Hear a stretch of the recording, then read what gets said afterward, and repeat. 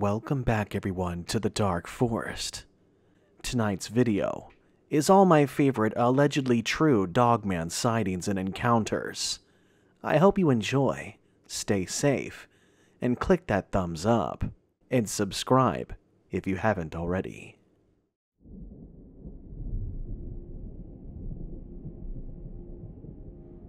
Hello, Zak. I figured I would send this story over to you, as you cover this topic quite often. This occurrence happened to me back in high school when I was visiting my cousins for the summer. I originally lived in northern Georgia, in the suburbs, about 20 minutes northeast of Atlanta. My cousins lived in northeastern Texas. I won't give the specific city that they're from, just for privacy's sake, but I will tell you about this encounter. I was 15, turning 16 at the time. I'm 24 now, so this was quite a ways back. My cousins and their family owned a few acres out in the middle of nowhere to be precise. They were having a bonfire out this one evening in the backyard, if you'd call it a backyard, as their dad was grilling up some food on their Weber.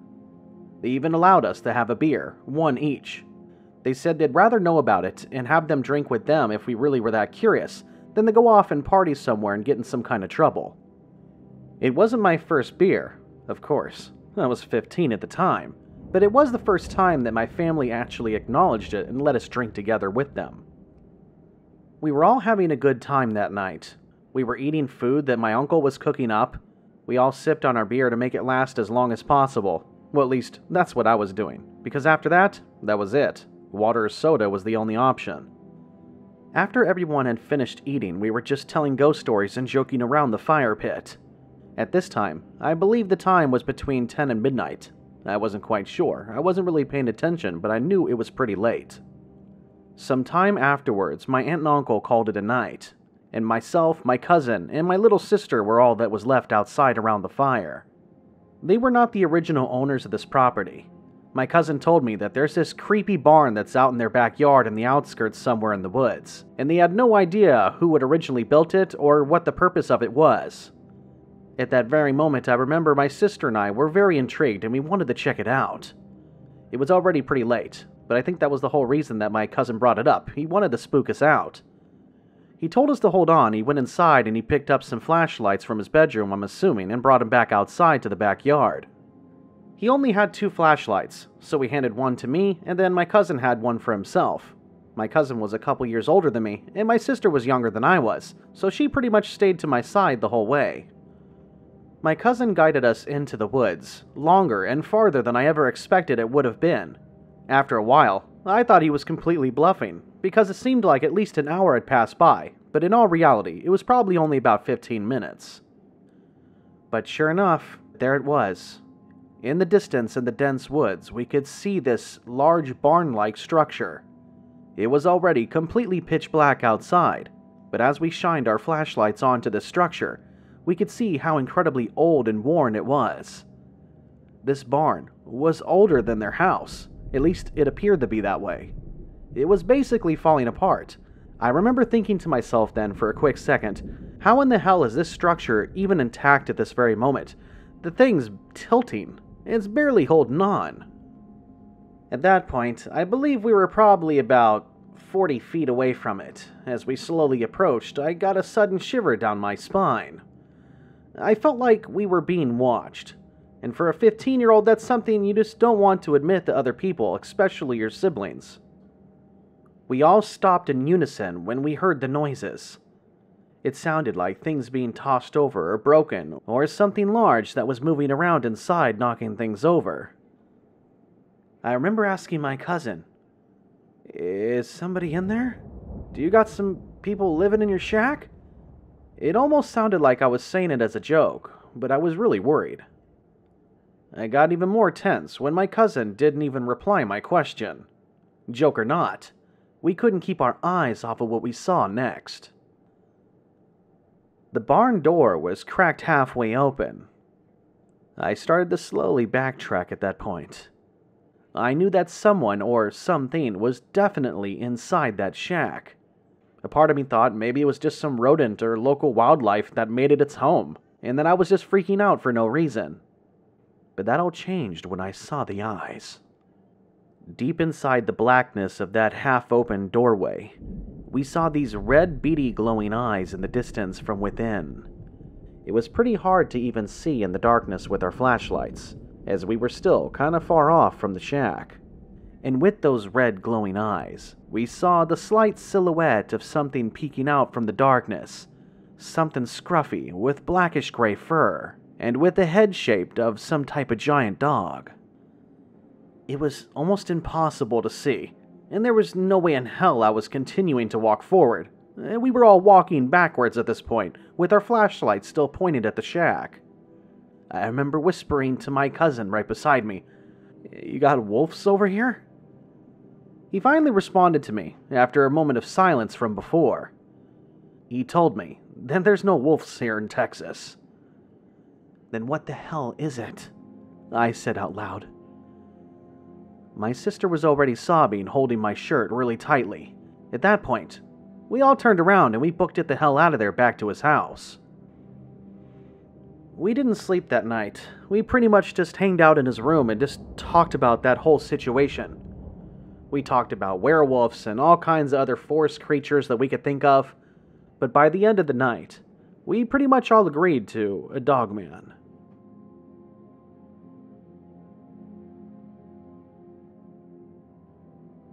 Last spring, my friends from college and I were hiking in western North Carolina at the Smoky Mountains. We all lived and went to school over in Asheville, and we enjoyed the wildlife and just getting out in nature. Every now and then we would plan a camping trip, but primarily hiking was more of our thing. We were on the trail for the Deep Creek Indian Creek Loop, which is about five miles. There was an option for a shorter route, which is only two and a half miles, but we never took that. This was one of our favorite trails. There are plenty to go around out here in the Smokies, but this one was one of our favorites because of the waterfall. We absolutely thought it was gorgeous. There was even a nice little wooden bridge in the area as well. This is a very touristic area. People like to go tubing out here and camping, and this trail doesn't allow pets, so you don't have to worry about stepping in nothing. I'm not an animal person, so if that isn't obvious by now, now it is. Sometime during the hike, we stopped to have some lunch.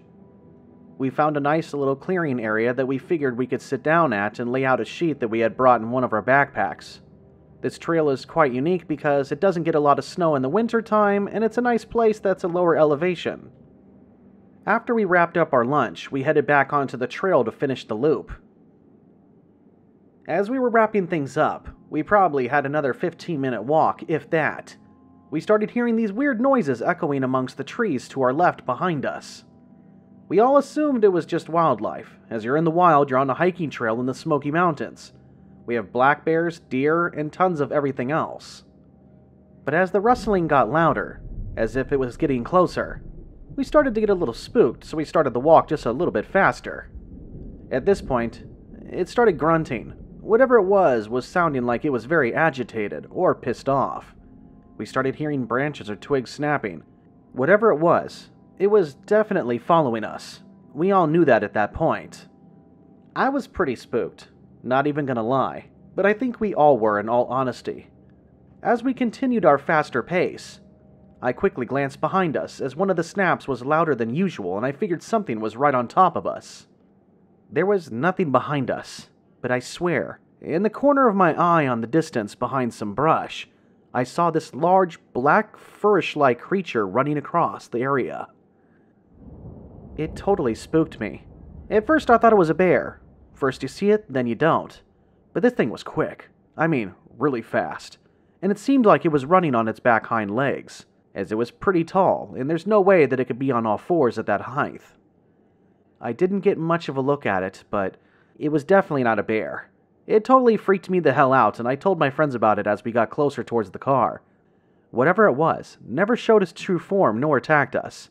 But still, I always wondered to this day what the hell did I see in those woods?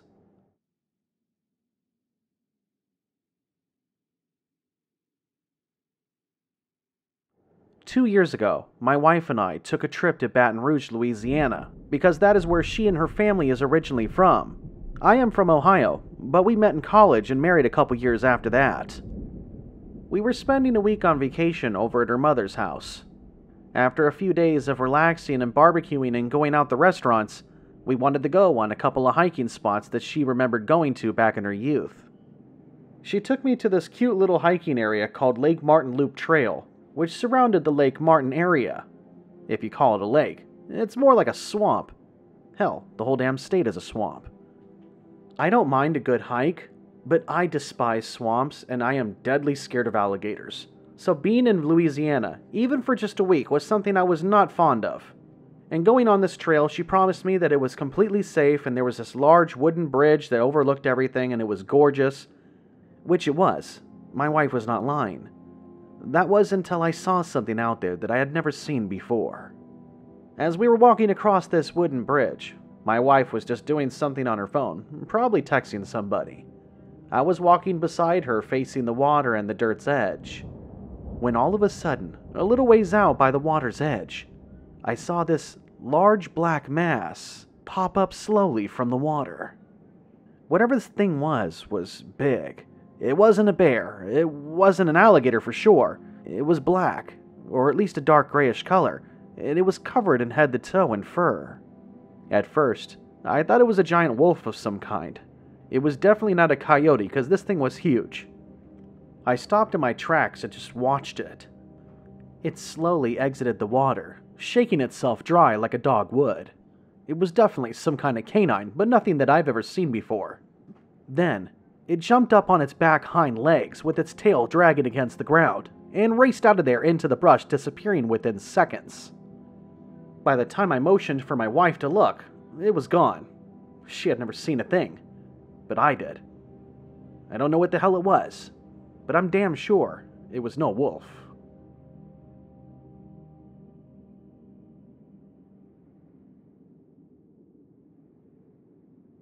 When I was a kid, I went RV camping all the time with my family. It was a tradition that we did at least twice a year. I grew up in northern Mississippi, so most of our camping trips that I could remember were within the state line. Our family was a family of six, my mother and father, and my three other siblings and myself. We were a large family, so usually when we went to these RV campgrounds, my dad always had a tent that he would lay out for some of the kids to sleep in. This encounter story happened over at the Pine Grove campground near Bay Springs Lake. It really was a wonderful place, as I've been there quite a few times with my family. People go fishing out there, canoeing, camping, bonfires, you name it. It's really a great family environment. My oldest brother stayed in the RV the night of the occurrence, as myself and my two younger siblings, as I'm a middle child, stayed in the tent right outside the entrance of the RV. I have no clue what time it was, but it was in the middle of the night as I was awoken by the sounds. At first, it just sounded like some twigs snapping. Local wildlife, no big deal. But then so did the weird animalistic sounds of something breathing. Then, I started hearing this pounding noise outside like something was banging on some nearby trees. Eventually, my siblings woke up beside me, totally freaked out. I told them to hush and just listen, and that's what we did. Over time, the noises seemed to be getting louder, so whatever it was was getting closer to our spot. I don't know how much time had passed, but the louder the sounds became, the more freaked out we got. We were too scared to open the zipper to look outside. We had no clue what it was. Maybe it was a prank, but maybe it wasn't. We weren't gutsy enough to find out. Eventually, the adrenaline calmed down and the sounds disappeared. We fell back asleep, the following morning explaining everything to our parents. Neither one of them believed us, of course, nor did my older brother, but still, I remember that night. I don't know what it was.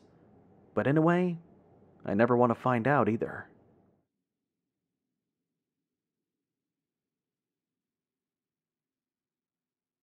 This occurrence happened to me when I was a kid. I don't have the fondest memory of every little detail, but I do remember some parts of it. My family and I are from Hardin, Kentucky, which is in the western part of the state.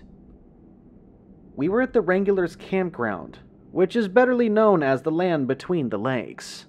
Now, as an adult, finding out all these different stories about this area that I knew nothing about as a kid, it still gives a shiver down my spine to this day, and I have yet to return. This camp was no ordinary camp. They had horses, and lots of them. Some people stayed at the lodge, some people just came to ride the horses and go on the trails. When we had went there, we weren't staying at the lodge. We were just there for the horseback riding. Everything was so beautiful. It happened to be my first time even being on a horse back then. The view of the trees and the water, everything was perfect. As we were on the trail, I happened to be one of the last horses that was on the trail on the tour. I didn't really know how to ride a horse to begin with, but still, it started to go off course, and that's when everybody kind of stopped and was staring at me. My horse was going nuts. Something had spooked it. I saw something in those woods. I have no idea at the time what it was. It was large, black, and full of fur. It was behind us and it was spooking my horse. I barely got a glance at it, I barely even noticed it to begin with, so I didn't think anything of it at the time. In all reality, I thought it was probably just a black bear. But a black bear wouldn't have spooked my horse like that. And black bears don't run on their back hind legs either. When I did see it, it was only for a brief second, but it darted off into the woods as soon as it seemed to have noticed that I saw it. After the tour, I remember telling my parents about it. They brushed it off and just said, You just saw a black bear, no big deal, and it spooked the horse but now, as an adult doing history on this location, I know it was probably something else.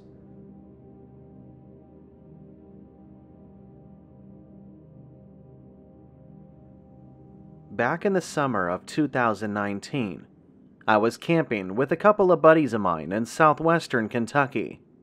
All of us are from Lexington, Kentucky, but we like to venture off pretty far out for camping trips.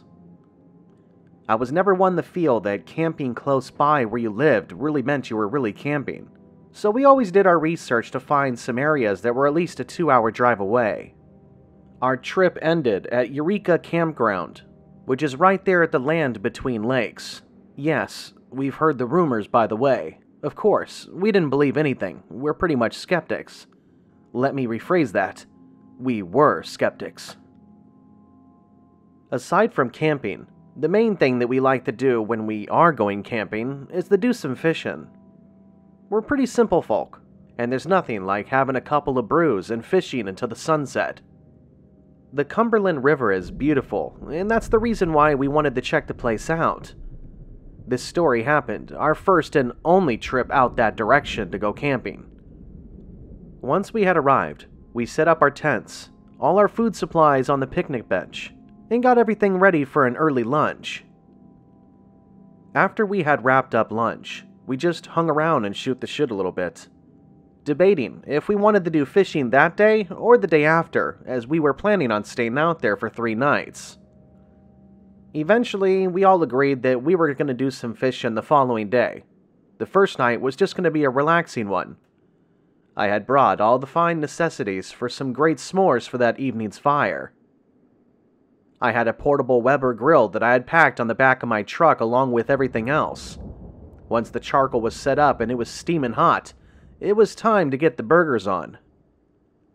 Once we wrapped up dinner, the sun was starting to set and we knew that we only had so much time before the day was gone. Then, night would be upon us. After lounging around for many hours in our lawn chairs, I knew that it was time to get the fire roaring before the night came. As the beautiful assortment of colors bloomed above us in the sky, I knew we were on limited time. I told my buddies I'd be right back. I was going to go grab some firewood and get things rocking in the pit. I don't recall what either one of them were doing at that present time, but it is irrelevant, I guess. I remember peeking inside my tent into my backpack to grab my mag flashlight just in case it got dark while I was still out there searching for firewood. Looking back now, it seems kinda silly as we had purchased some firewood to begin with, but me, I wanted more. For some reason, I thought we were gonna be up all night drinking, and that we would run out and then really be screwed. Which in reality, more than likely, that may have happened. So I start venturing off of the camping sites. I didn't want these twigs that were just already on the ground, little skinny things that weren't gonna do much in the pit, anyways. I wanted to go deeper out, away from everybody else, to find some real wood. That, and I didn't want anybody telling me that I couldn't do it. I just wanted to do it on my own without being seen. I walked in through the tree line and into the dense forest. I don't know how big this forest area was, but being alone out there when it was starting to get dark, it was big enough for me. I felt a sudden drop in temperature the moment that I got into the shaded area. At first, I didn't have any eerie feelings or felt like I was being watched at all. Everything was completely normal. After about the first five minutes, I found a couple decent sized logs. As I was carrying them with my left hand, I had the flashlight on my right just beaming the area, looking for the good hunt. And then, out of nowhere during that time frame is when I noticed it. I didn't hear anything around me, outside of my breathing and my own footsteps. I didn't hear any crickets, no birds chirping, nothing.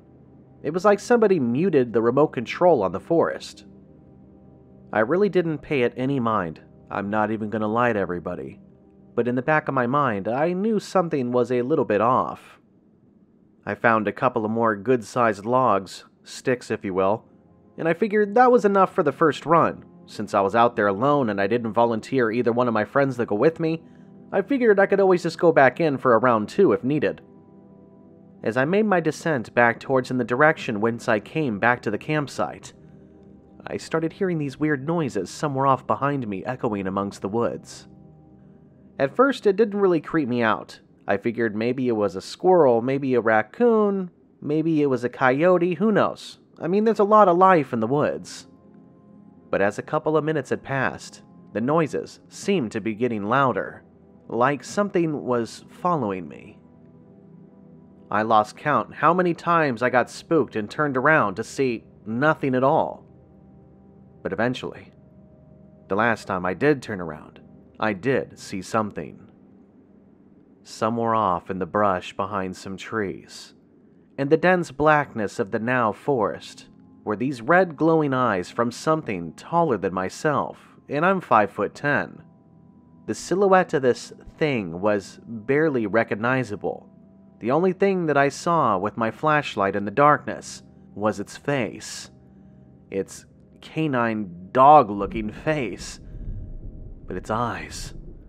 I've never seen an animal with red glowing eyes before. I didn't think coyotes or wolves or anything of that nature had red glowing eyes. The only red eyed animals I ever knew of were bunnies and rats but it just stood there watching me. It didn't move an inch. It was pretty far off, and it never chased me, thank God. It was almost like it was observing me. Maybe it was curious, I don't know.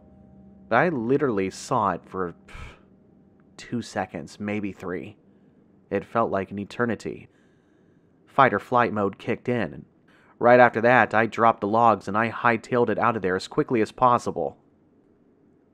I would be lying to you if I told you that I wasn't screaming, because I was. A 37 year old male screaming like a little sissy. I'll admit it. But you know what? I don't care. I was terrified. A couple of minutes, I'm assuming, had passed, and I got back to my campsite. I tried explaining everything to my friends what I had seen in the woods. They weren't really sure what to take of it at first. At first, I'm sure they thought I was just BSing them but they knew by my reaction and the tears from my eyes that I wasn't kidding around. I told them I wanted to leave. I'm not staying here. I don't care if we have to drive a couple hours somewhere else, or even drive home for that matter. I want out of here now. It took a few minutes of convincing, but eventually we packed everything back up in my truck and we got out of there. I think they were a little disappointed and pissed off, especially my friend James. He was already halfway drunk and he was just starting to enjoy the night. I don't care what anybody tells you about the LBL. I saw something out in those woods. And I'm thankful to God that it never attacked me. But it does exist.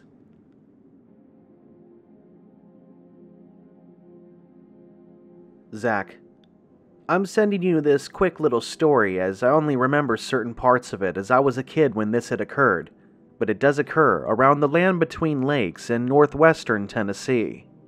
I'm originally from Clarksville, which is just east of the LBL. My family would often take camping trips and boating trips out that direction.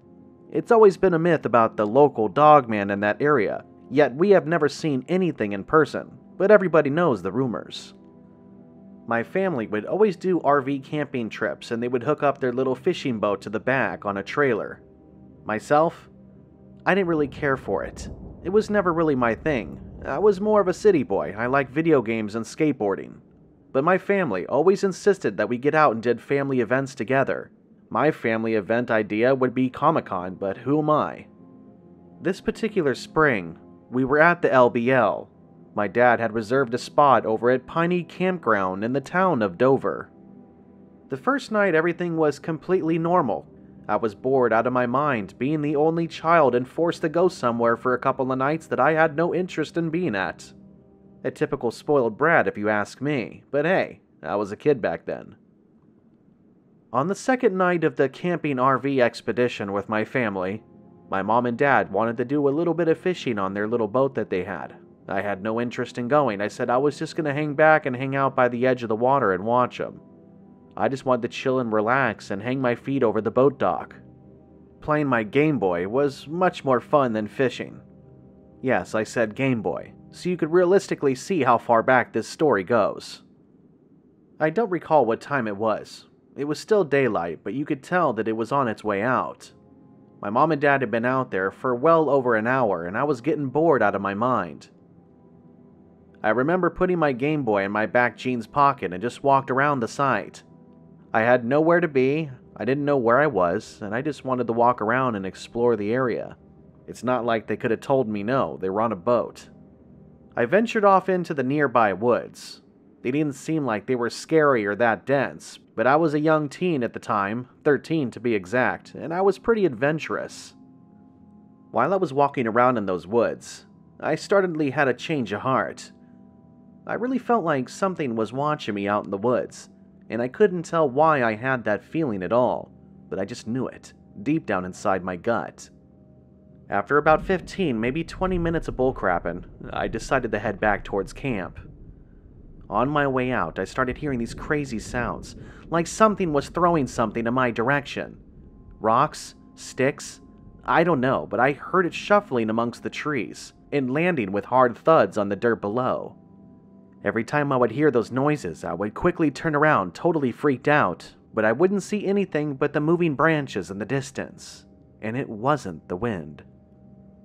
Then, I heard the gnarling howl, a howl that I've never heard before on anything but the movies.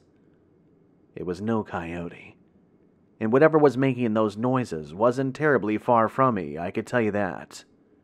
It sounded like a very angry and aggressive wolf.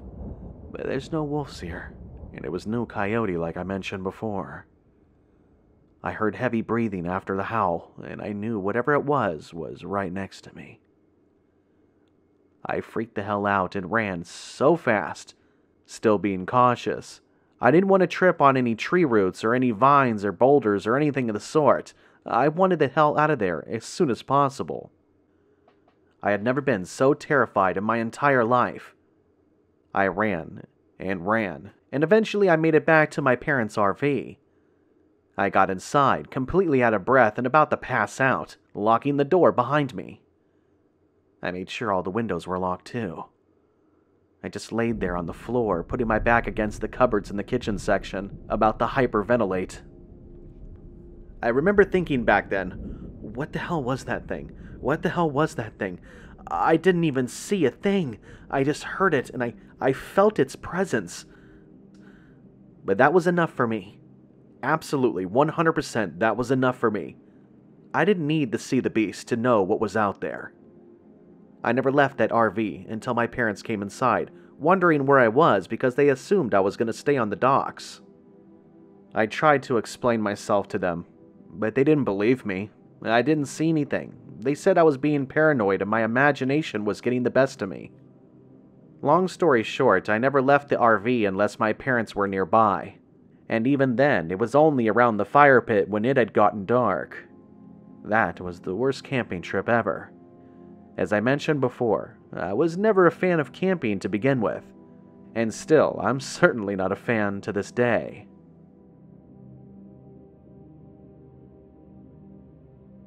Back in 2016, my brother and I rented out this Shiloh little cabin at Dixieland Cabins.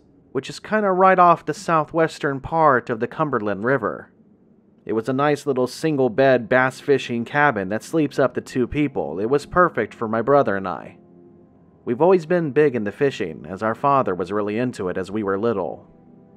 This story actually happened while I was having a cigarette on the back porch. Not much of a story, but I figured I would submit it to you because you would know what to do with it. If memory serves me correctly, my brother was taking a deuce at the time, I was having one last smoke before we were going to hop in the truck to get to the fishing spot that we wanted to go to for that day. We had booked this little cabin for two nights. For a hundred bucks a pop, it really wasn't a big deal. It was basically a hundred bucks from each one of us. It had a bed, an AC unit in the wall, and a microwave. That's all we really needed outside of the toilet. We were going to be outdoors going fishing anyways. It was really nothing special. If I remember correctly, it was the cheapest model that they offered while I was out having my cigarette, out in the distance in the trees. Now, mind you, there's other cabins out here, but still, this was right by the tree line. I saw this large black mass of something peeking out. At first, I thought it was just the shade of the trees. But as I took another puff of my cigarette and kind of looked harder, I noticed this shade had glowing eyes. They were red, dark crimson red, and it looked like they were looking in my direction. I just stood there shocked. I didn't know what to take of it. Was it a bear? Was it a wolf? Was it a cougar? I had no idea. It was kind of far out, so there was really no telling what it was. But when this black figure moved and disappeared right in front of my eyes, I knew it wasn't the shade. There was something large and full of black fur standing out there peeking outside the tree line then just disappearing in a flash. I don't know exactly what I saw out there in the distance, but with the rumors about this place, I could take a pretty wild guess.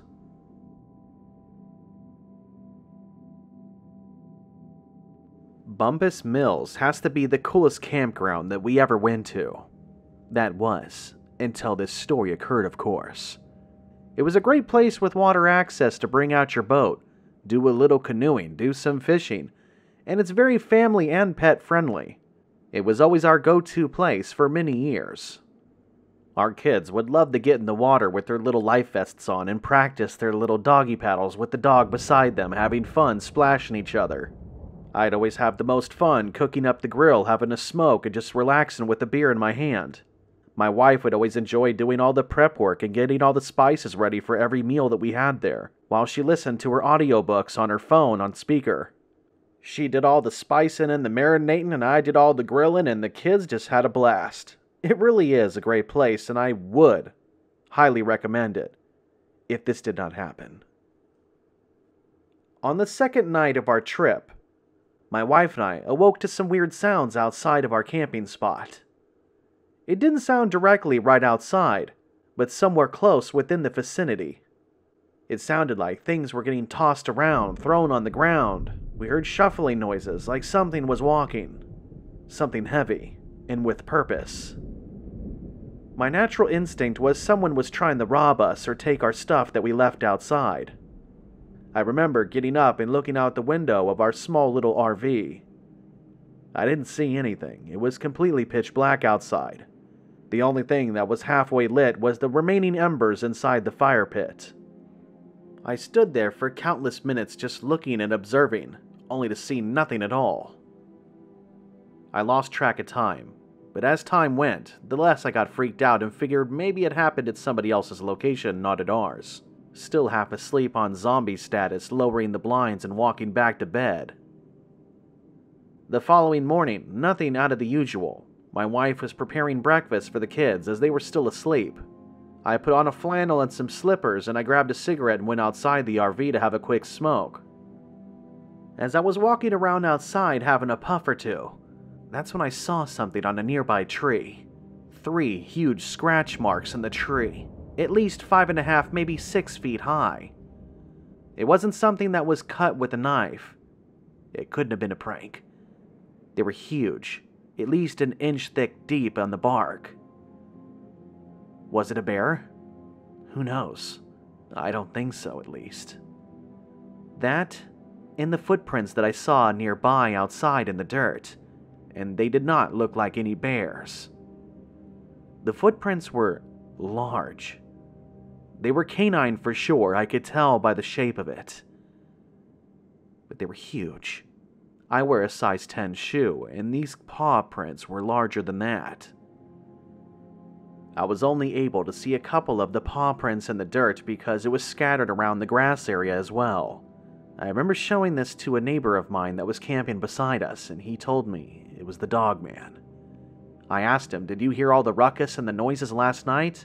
And he shook his head yes, but he wouldn't dare go outside his RV to check it out. I told him neither did I, and when I looked out the window, I didn't even see anything. He told me the beast was probably long gone by the time I got to the window. It was just letting its presence be known.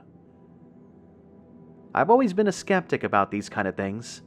Our neighbor camper was definitely not a skeptic. He seemed to know quite a bit of information about this dogman beast. He told me about what it kind of looks like, its color and its height, and what it's doing out here.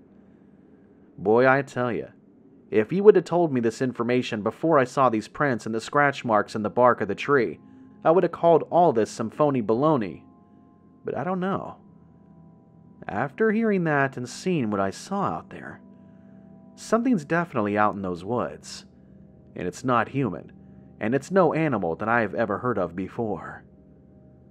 Ever since then, I've never brought my family back to that campground.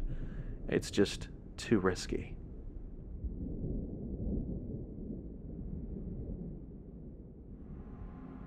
Zak, I'm hoping you're having a good day. I'm emailing this story to you as it's something that happened to me when I was a teenager back in 2016. I'm born and raised in a small mountain town in eastern Kentucky, Pineville to be precise. It's a small yet quiet town. I have a love and hate relationship with this place. I love it because I love the small town vibe. There's not a lot of traffic, if any. People are friendly gas is cheap, and we get all four seasons.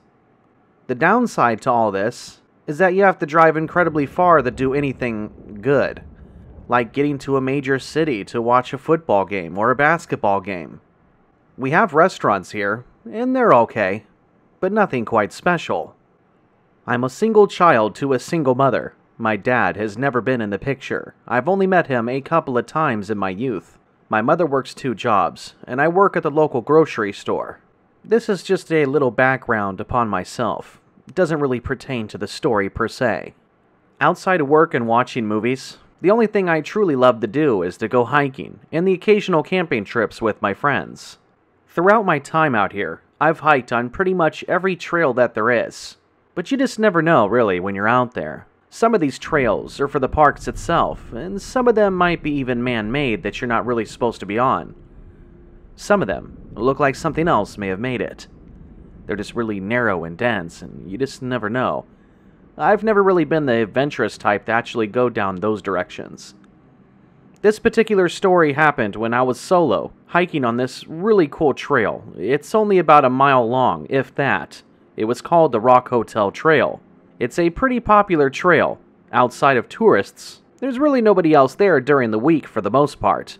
Parking can be a pain in the butt too. I usually just park my car on the side of the dirt road as there's no assigned parking spots nearby. What's really fantastic about this short little easy trail compared to other trails in the near vicinity is that it has a cave. A real cave. I've never personally went inside the cave, to be honest with you, caves kind of creep me out. They always have, ever since I watched that movie called The Descent. I just always stayed clear of it.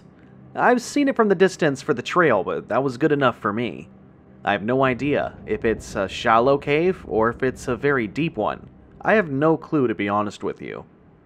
So, I was on my hike. I had my backpack on, with my water hooked up to the side of it, I had some Nature's Valley bars and some snacks, and of course, a couple of Slim Jims. The bare necessities, of course, for a short hike. Like I mentioned before, it's not that long of a trail. I kind of go overboard with each of my hiking trips because you just never know what could really happen out there, especially if you're hiking by yourself. Better to be safe than sorry, I would always quote. So as I'm trekking along, The day is nice, the sun is starting to set. I could see all the beautiful colors mixed in with the clouds above in the sky as I walked. It was in the month of October, so it was already starting to get a bit chilly outside. The beautiful trees and everything were turning colors from the browns to the yellows to the reds all around me on the trail. I knew I had probably a good 20 minutes left of daylight before it was gonna get dark. I don't know why I chose to start this hike this late in the evening, but I'm pretty sure it probably had something to do with my work schedule back then. I could see the cave in front of me, about 40 yards up in the distance upon the dirt trail. You could see it clear as day, the darkness sunken in around the stone wall. Even thinking about it now, typing this up gives me shivers. As I was continuing my casual walk, I happened to glance down with my walking stick just shooting the shit as I was walking towards the direction of that cave, when I saw a couple weird prints that were embanked in the dirt. At first, I thought they were just some dog prints, but when I noticed the size and look and appearance of these paw prints, I had to stop in my tracks and kneel down on my knees to take a better look. I found a few of these prints, all heading in the direction of that cave that's up ahead.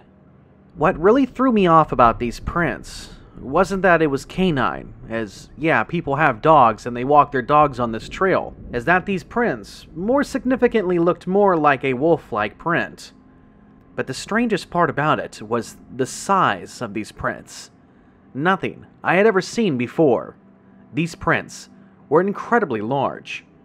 I didn't have a tape ruler with me, but putting my boot up against the side of it to judge its length, the print was almost the size of my shoe, and I wear a size 12.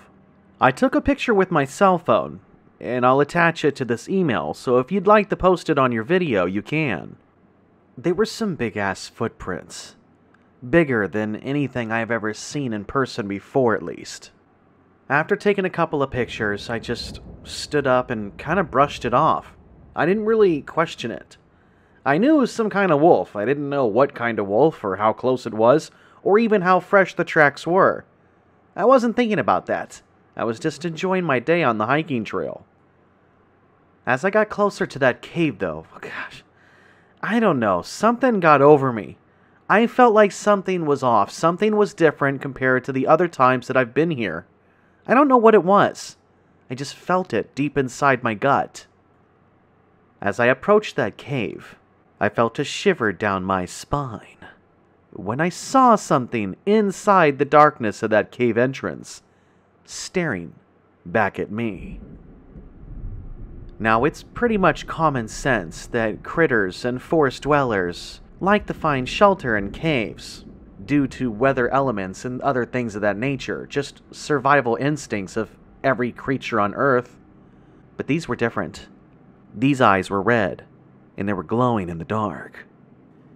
At this point, the sun was almost non existent, and the sky was darkening above. As I was continuing my walk forward, that's when I heard whatever was inside that cave let out a loud guttural growl that sounded very canine like. It wasn't a bear. It wasn't some kind of cat. It was something else. It sounded like Whatever it was inside that cave was telling me to back the hell up. I didn't hesitate. I stopped in my tracks when I heard it. Then I started walking backwards out of fright. The eyes never took its eyes off of me in the dark. Hell, I didn't even see it blink. You don't need to be the smartest chip out there to know that common sense is telling you to get the hell out of that situation, where you are obviously not wanted somewhere. That thing in that cave didn't have to tell me twice. It never even showed its true form now that I'm looking back upon this story. All I heard was the growl of some canine beast, and seen its red, visible, glowing eyes in the darkness of the cave looking upon me on the trail. I backtracked on that trail for quite a while.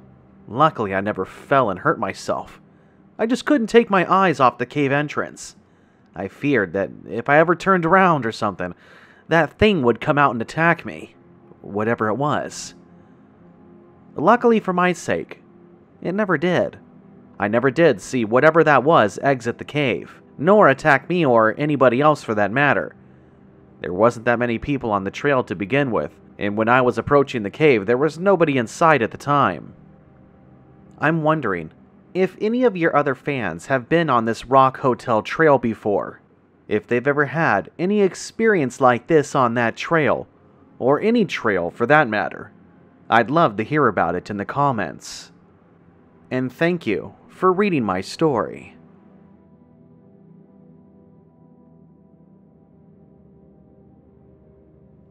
This story happens on Labor Day weekend of 2021. I reside in Newport, Tennessee, which is a small town in the eastern part of Tennessee on the border of North Carolina. Not really on the border, but on the way there. I just tell people that because it's easier for them to find it on the map that way. My family and I were staying the Labor Day weekend over at the Pigeon River Campground, right on the Pigeon River. It's a fantastic place to camp. Most people rent the cabins, some have some tents and whatnot.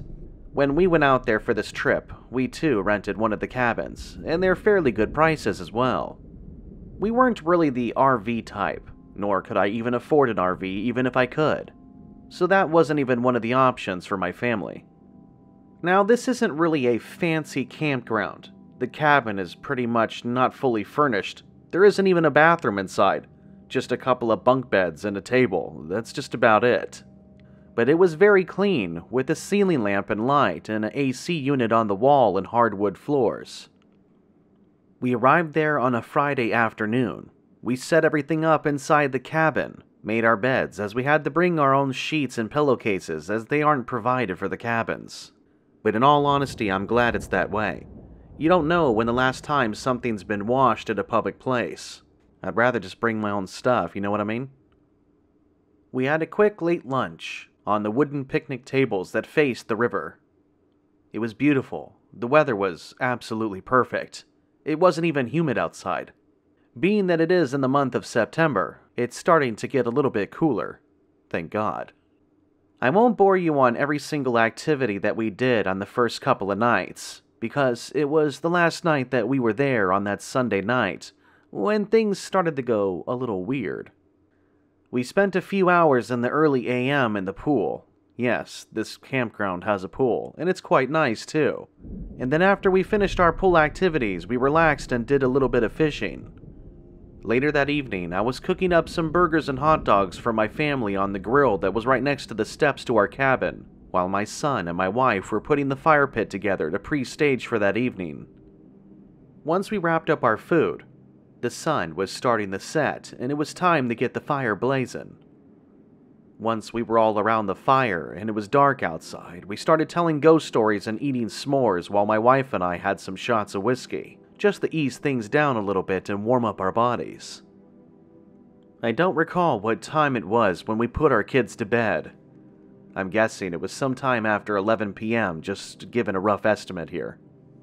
At this point, our kids were inside the cabin, hopefully sleeping, but more than likely they were goofing off. But that's alright. My wife and I just sat next to each other in our lawn chairs, sipping on some whiskey and just enjoying the night.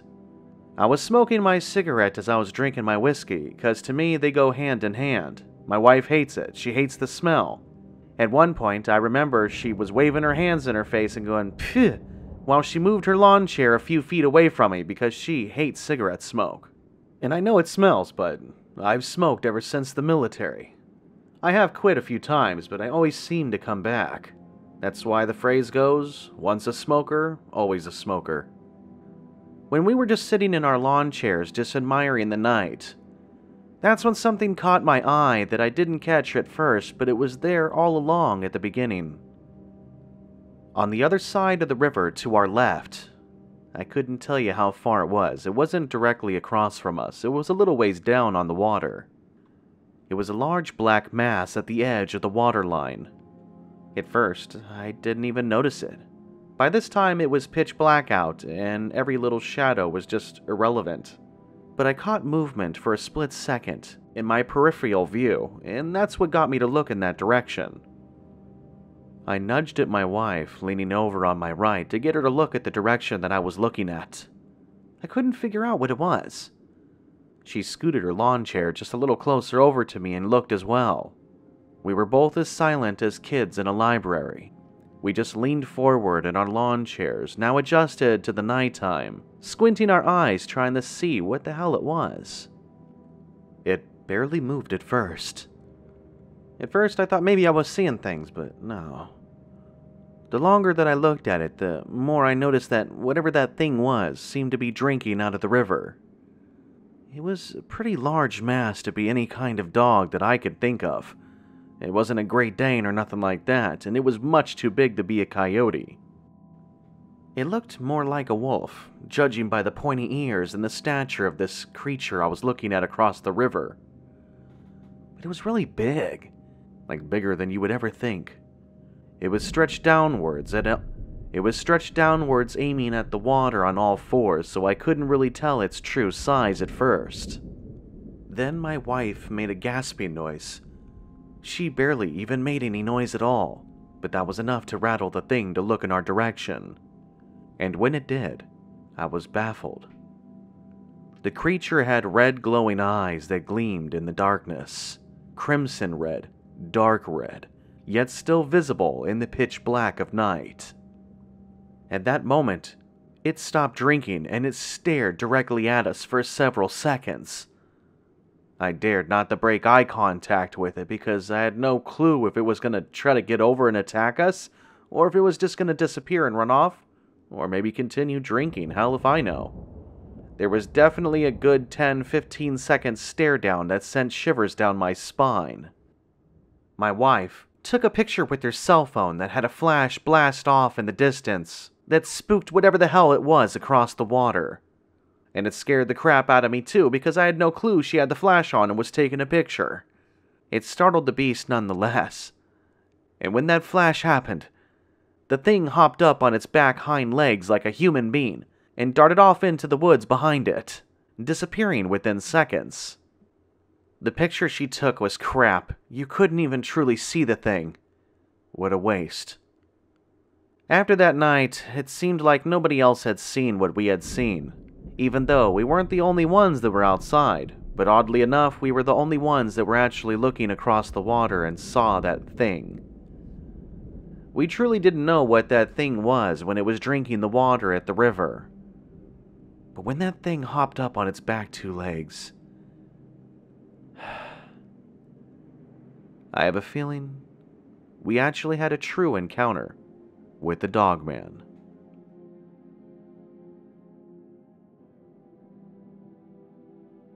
Three weeks ago, my family and I were camping over at the Atlantic Shore Pines campground in Tuckerton, New Jersey. It's a great little family getaway. There's a store, people are barbecuing, they got a pool. It really is a family adventure.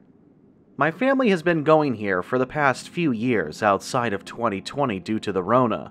There's a couple of other camping locations out here in Jersey, but this one was always our favorite. My parents own a 24 foot RV that we usually take everywhere we go when it comes to camping. They rarely do the whole tent camping thing.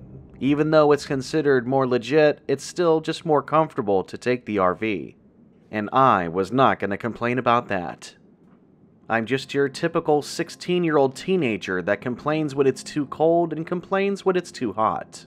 I don't like mosquitoes and I don't like any type of insects whatsoever, anyways. I always tried to be respectful to my parents. I never tried to complain too much when it came to camping and hiking activities. Both my parents are not originally from New Jersey. Even though they grew up in a city, they've always wanted to be more of the outdoorsy type, or at least try to be or in other words, in my mind, pretend to be. My dad is actually really cool. I remember when I was younger in our backyard, he would watch all these little YouTube videos of people building cabins out in the wilderness, and he actually tried to build this little hobbit thing for me in the backyard, made out of rocks and wood and watered down mud. He even made a little fire pit that we all could use in the backyard that was right in front of the circular entrance doorway. It was quite cute, it's still there to this day. I haven't used it in years, but still, six months worth of work for him trying to figure it out. It was. It was adorable. It was only a one night stay. Typically, my family would do the whole weekend. But due to my parents' work schedule, we had to make a quick trip and just booked one night in advance.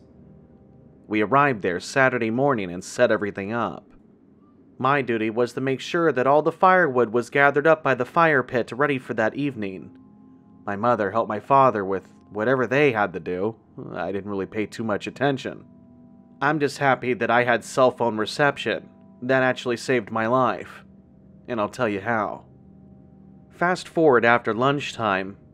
My parents were just in the lawn chairs telling some jokes or talking about whatever grown ups talk about.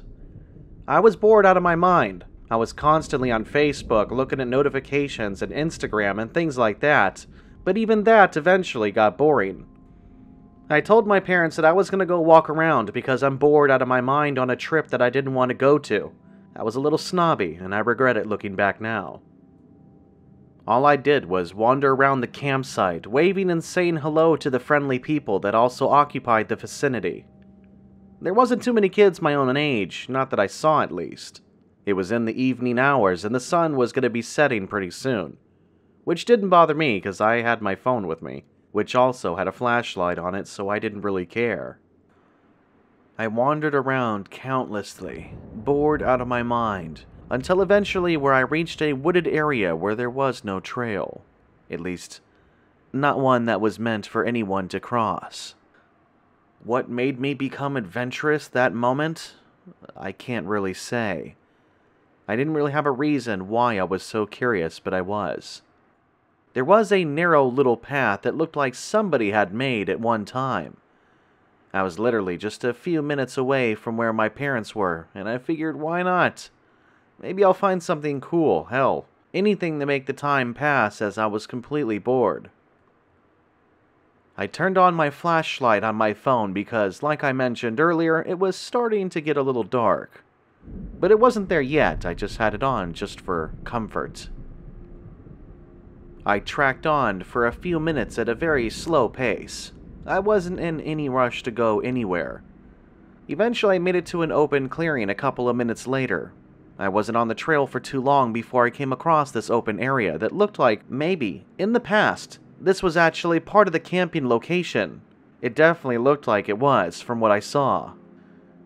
There was a couple old rusted fire pit things sticking out of the overgrown grass. They were at least 15 feet apart from each other, so maybe it was a couple of tent camping locations from back in the day. There was this wooden shack that was off in the distance on the right hand side behind those areas. It was small, probably about 5 feet wide, and I had no clue how deep it went. It was closed, but partially open as the door was cracked open, maybe a few inches or so. There was no windows, and the wood was rotting. It looked like it could barely hold up. I kind of walked around a little bit. I didn't venture too far into the area because uh, I'm a chicken for bugs and stuff like that, and that includes snakes and anything else for that matter. I started to walk back towards that thin trail to get back to the campsite to go back to my parents, when I heard some ruffling noises behind me, followed by some creaking noise. I remember the hair on the back of my neck standing up. I had goosebumps all over both of my arms, and I just stood there. Do I dare turn around? I remember thinking to myself. And of course, I turned around. In the distance, inside that shed, is when I saw this black claw like thing gripping the outside edge of that door. The fingers were human like but long, with razor sharp looking nails on the ends. The hand was covered in fur like some kind of werewolf. I remember putting my hand over my mouth, about ready to scream. I dialed my dad on my cell phone as soon as that happened. The door slowly crept more open, inch by inch. I was on the verge of crying when my dad asked me where I was, that he was out looking for me as I hadn't checked in for quite a bit. I told him what direction I headed from their site and where that trail entrance was located at. I told him that I ventured off into the woods and I shouldn't have, that I found this open clearing and I found some abandoned looking camping spots and a shed, but I wasn't alone. At this point, I was already walking backwards on the trail, making sure that thing didn't fully come out of that shed. I turned around to see if I could see my dad in the distance in the clearing, but I couldn't see him just yet. But he said he had just entered the trail. I turned around and started walking at a faster pace in my dad's direction as I could hear him talking to me in the distance and over my phone. I turned a quick glance behind me in the direction of that old shed to see that the door was completely open and the shed was now empty. That started to freak me out. I think I see you up ahead! And he started raising his voice as he was talking to me on the phone. Maybe he was trying to spook whoever the hell was out here with me, or whatever it was. I saw my dad in the distance, and as I was freaking out and running in his direction, I couldn't help but hear the howl in the background. A howl that I've never heard before. It was no coyote. That I am 100% sure of. It sounded like it was pretty far off, probably even farther than the shed itself. Yet, I can't help but think that that same thing that was inside that shed was the same thing that made that howl.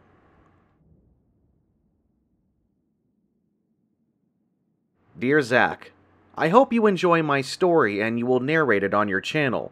It's not a very long story, but maybe you could mix it in with some other stuff. I live in a small town about two hours south of Toronto, Canada, near the US border. And when I mean small, I mean less than 10,000 people. There terribly isn't too much going on out here other than factory work and restaurants. I won't give you complete details or a background check of myself because it really means nothing to the story. In 2015, I work a swing shift at work, by the way. It was just past 11 p.m., and I had gotten on the city bus heading back home. I do not drive. I've never learned and I've never wanted to learn. Even the mention of me getting behind the wheel just freaks me out. Even to this day, I refuse to drive. Once I exited the bus, my house was only a couple of blocks away from the bus stop. There was only a few houses in our part of town. Main Street was where the bus station was located at, so I do have to walk kind of through a rural area to get towards my house. It's really not that big of a deal, but in the winter time, it really sucks. As I was walking home, I'm the only person out at this hour, most people's house lights were already turned off, with the occasional people that forgot that their porch light was on. And that's when I saw something. Out in the field to my left is when I saw it. I saw this large black creature running on its back legs like a man, through the fields and disappearing behind some trees. It all happened so fast, but I saw it clear as day in the darkness. The nearby streetlight kinda helped with that. This creature resembled a dog, but it was completely dark, like it was black and fur. It was kind of far off, so it's really hard to tell, but it definitely had a canine head and ears. I stopped walking when I saw this thing running across the field and disappearing behind the trees. I was in total shock and I didn't know what exactly I was looking at. I was very cautious the rest of the way home, still shocked, trying to figure out what the hell I had just seen. I've done some research and listened and watched to a lot of YouTube videos to figure this out, but it was a real life dogman. I was canoeing with my best friend back in the day in North Carolina. I won't give any specific details because I don't really want people to know who I am. I just want to share my experience for those that will listen. If you live in the South, then you know there's lots of lakes and rivers and plenty of things to do out here in the outdoors. I was out with my best friend Trisha. That I will say. There's a million Trishas out there, good luck figuring us out. We had been canoeing for about two hours. It was a perfect day outside, and the humidity wasn't all that bad that day. Surrounded by trees and beautiful landscape, you couldn't really ask for anything more. While I was out there with my friend, I saw something. My friend did not. She was paddling just a little bit better than myself, and I was probably recording this live on Instagram or something of the nature. I saw a dog man up a hill, just on the side of the water bank. I know the difference between a wolf and a coyote and any other kind of forest animal, This was none of those. It was a real dog man. It was running on all fours, but it was at least four times the size of a coyote. It was completely jet black, full of fur, In its eyes, I swear to you, they were glowing, even in the daytime. It never seemed to notice me or my friend out on the water as it was casually running around. One minute you saw it and the next you didn't. I really only saw it for a split second, but it was definitely a dogman. Everything that I've seen online and heard about on YouTube describes this thing perfectly. I never really believed in any of this until I saw it myself.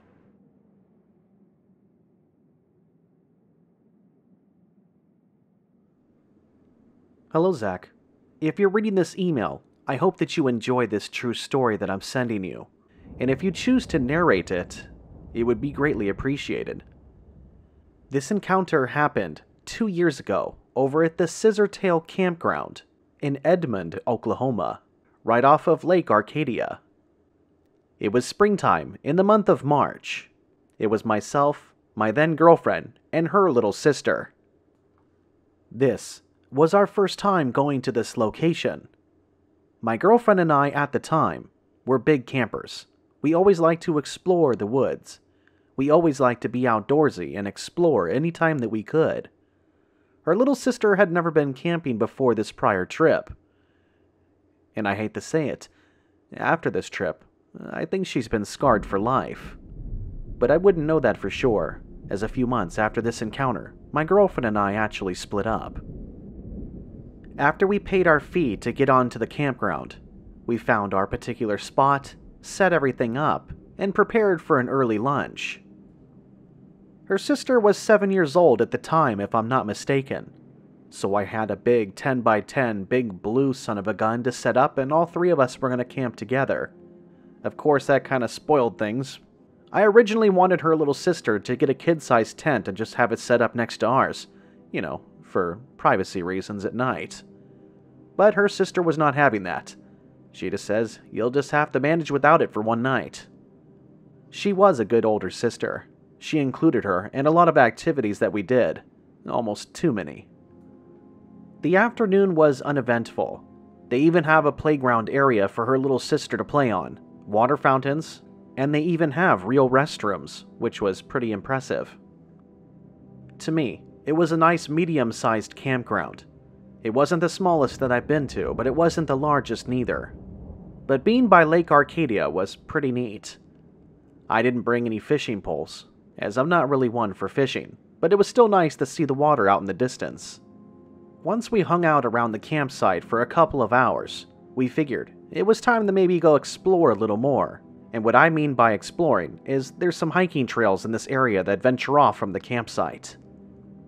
The weather was perfect, I do remember that, as the humidity wasn't really kicking in so much. It was still spring, and we were dreading the humidity that was going to soon come to us.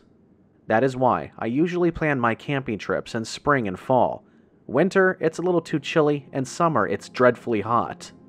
We found a hiking trail that wasn't far off from our assigned spot.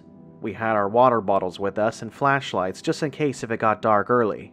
By this time, it was nearing dinner time, but we wanted to go on a little hike first. That way, I thought, we would burn off any calories before we even ate them. While we were hiking, we then realized how big this place actually was. The campsite individually didn't seem like it was that big with that terribly many spots, but the property itself that belonged to the campground was humongous. At least a hundred acres, if not more.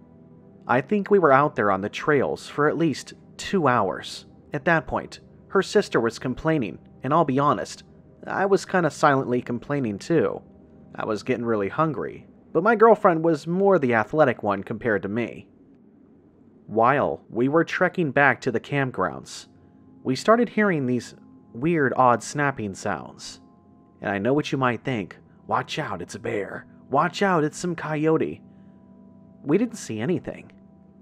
Every time we would hear a snapping sound, or sounds that something was thrown around, we would turn around to see absolutely nothing. It was quite windy that day, so a lot of the bushes and stuff were swaying regardless. There was no way to pinpoint what direction those sounds were actually coming from. All I could tell you was it was somewhere off on the trail behind us. We brushed it off, and we shouldn't have, because those sounds happened more than once.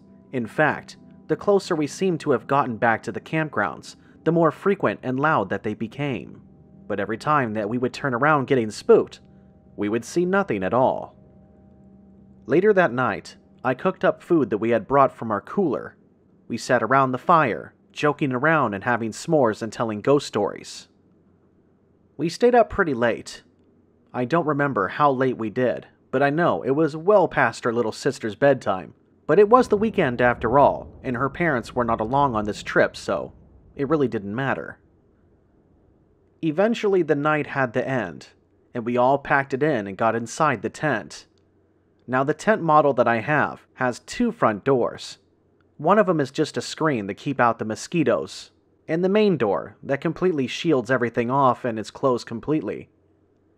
The weather was nice that night, and I figured having some fresh air during the night wouldn't be such a bad thing. So I left the main door unzipped, and I kept the screen door closed tight to keep out those pesky little mosquitoes and critters. Sometime, in the middle of that night, I had to use the restroom. I was half asleep and dreading every moment. I wanted to wait until morning, but there was no holding that back. I remember putting on my coat, grabbing my flashlight, and silently opening the zipper and going out to the restroom. The restroom was only a little ways down the dirt trail, not terribly far off, but when you are half asleep and it's in the middle of the night, it seems longer than it really is. I handled my business and I started walking back towards my tent. When about halfway there, I start hearing those same snapping sounds that I heard earlier on that trail, but this time it was on the campgrounds. The first time that I heard it, I nearly jumped off the ground. I spun around with my flashlight to see nothing but shadows. I was the only person outside. It must have been terribly late. I didn't bring my cell phone with me. Then I was freaked out and completely paranoid. I power walked all the way to my tent and got inside as quickly as I could, zipping up the screen door behind me. I didn't zip up the main door. I wanted to see if I could see something outside. I wanted to see if I was being followed. My entry back into the tent was not stealthful at all. I woke up my girlfriend and her little sister when I got inside. They must have saw that I was freaked out. My girlfriend asked me what was going on, and her little sister was silent, just staring at me, still half asleep. I explained everything to them, the sounds that I heard, and I think maybe there was something out there on the trail and maybe it followed us back to camp. But then again, maybe I'm just being paranoid. We are out in the woods after all, there's wildlife out here. As I was trying to justify my actions to my girlfriend, I noticed that her vision was no longer on me, but past me, behind me through the netting door. That's when I got a shiver down my spine. I turned my head around to see what she was looking at. At first, it was just a shadowy movement in the distance, but as we continued to watch, that shadowy figure emerged. The silhouette of this giant dog like creature that stood like a man. Its eyes were glowing a crimson red, and it was hunched over, at least six, six and a half feet tall. It was sniffing around like it was scavenging for food, or just curious about the surroundings in general. Not a moment later, after its full visibility from the moonlight above, my girlfriend's little sister screamed at the top of her lungs, startling the creature. The creature looked in our direction for a split second before darting off into the woods, disappearing. I don't even remember if it was just her that was screaming or the both of them together. But their screaming scared me half to death because we were all inside that tent together. But I do know that all three of us were completely freaked out. They were mumbling and screaming and crying. I was freaked out, but I was more concerned about trying to calm down her little sister. She was having a panic attack. I don't think we got much sleep that night. I know for a fact I did not. I was too paranoid to even close my eyes. Eventually, the sun came up. It must have happened pretty late in the night because the sun came up shortly after that. We packed up our things as quickly as we could and we got the hell off that campsite. I've never seen a dog like creature like that before. We've all heard the rumors about the dogman creature in Oklahoma, And after doing some research and checking out some forums online, it's not just here. It seems like this creature is everywhere. But I know one thing for certain it's real.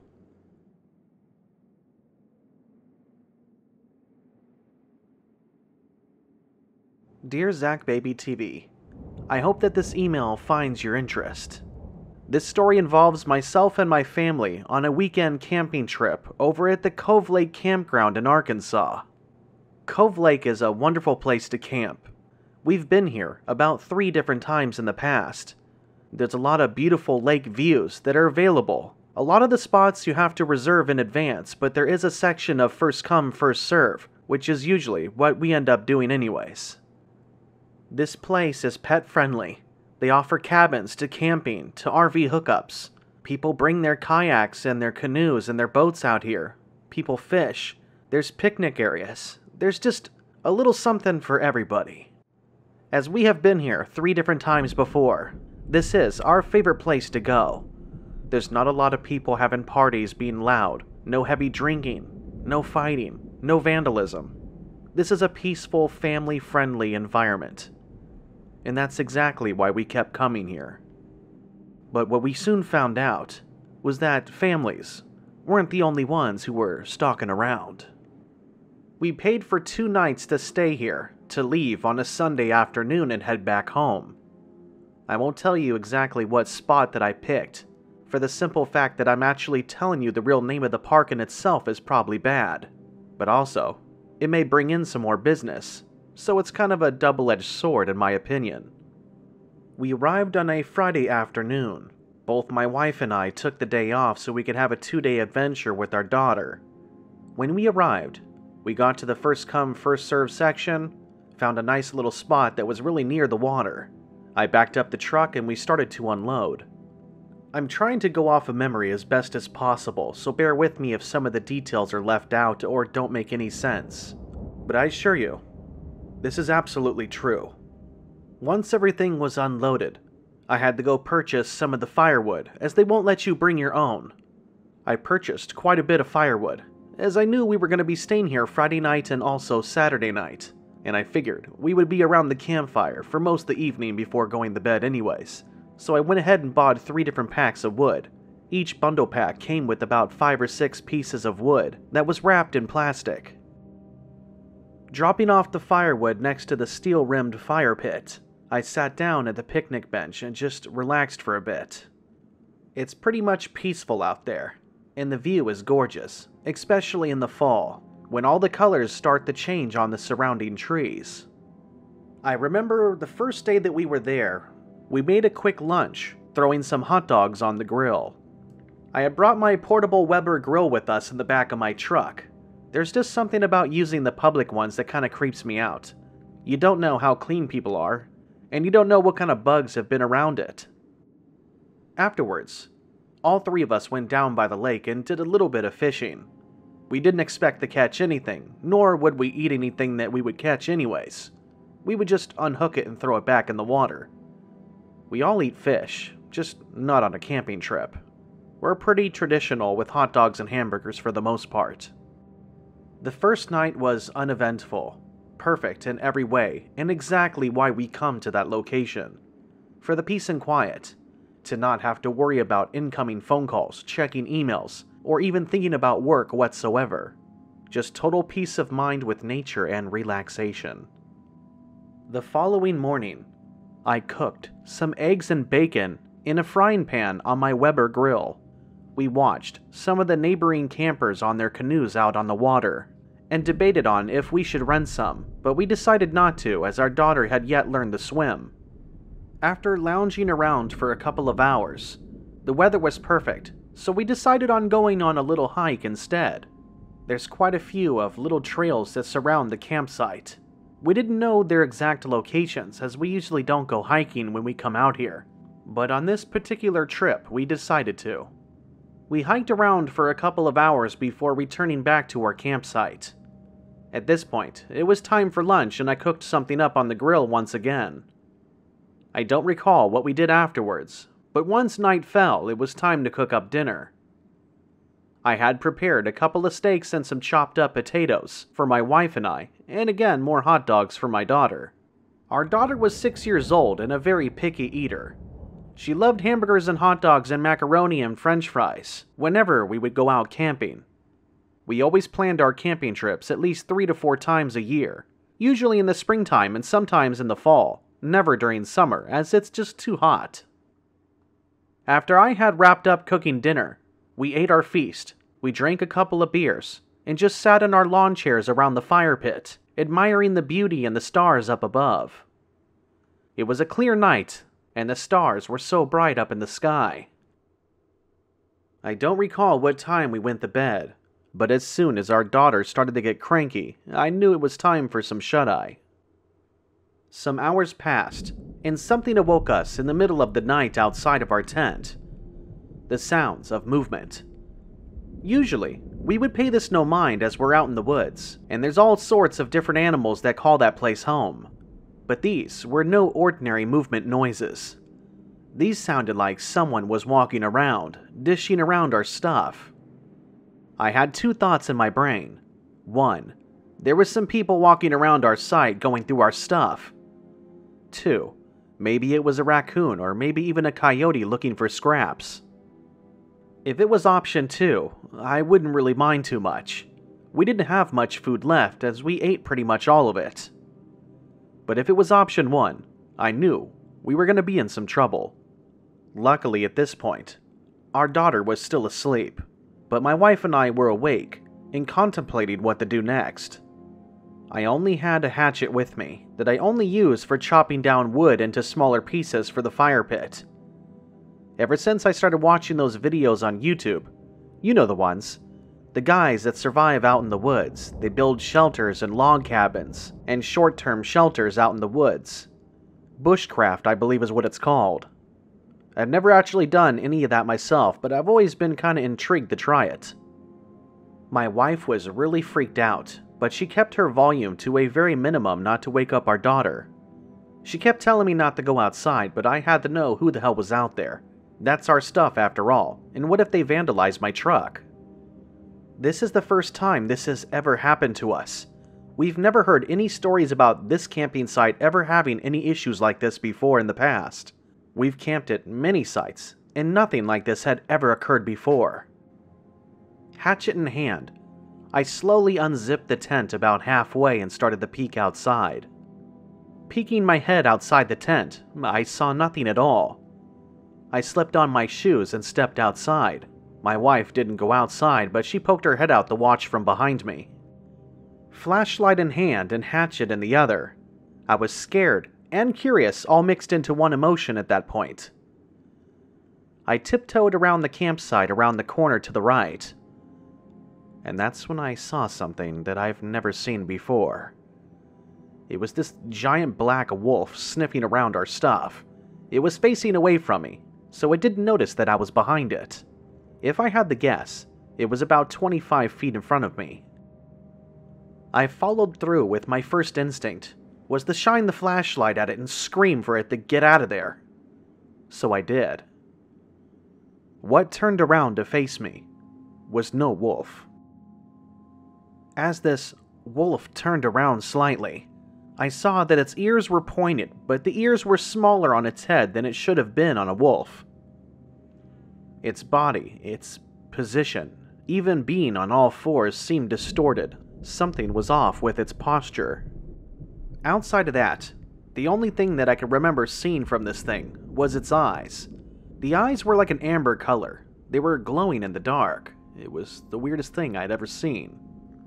It turned startled, looked at me, then turned away from me, jumping on its back hind legs and darting off into the woods, disappearing into the darkness. This all happened within a matter of like three seconds. I was dumbfounded, frozen, completely in shock. Sure, I was scared, but I think I was more shocked and confused more than anything else. What I had originally thought was a wolf or some sort of large coyote was in fact something else Something that I've only heard rumors about growing up out here in Arkansas. Something about a dog man. My wife didn't see it as it was around the corner, but after my shock started to phase out, I got back to her inside the tent, explained everything we could, and we stayed in the tent until sunrise. We tried to pretend like everything was kosher for our daughter's sake in the morning. I cooked up some food, now on full alert, but then thinking maybe this thing only comes out at night. We left the next day, and we didn't go camping for quite some time. We still go back to that campsite, though. I know, sounds crazy, right? But the thing actually never did attack anybody. Maybe it was just hungry. I'm not too sure. But like I said, we love that campground.